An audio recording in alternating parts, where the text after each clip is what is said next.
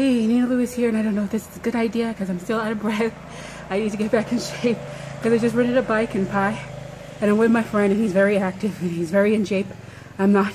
He's going really fast, so we rode the bike, right?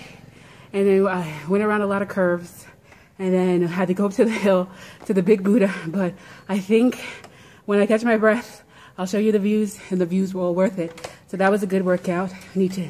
Um, I can get into it. Just gotta take it one day at a time.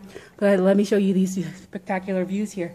If you can see up the mountain, right? How, how gorgeous is that? So all that is, is worth it, but I'll take more pictures. Until next time, Nina Lewis signing out. Let me get some water. Bye.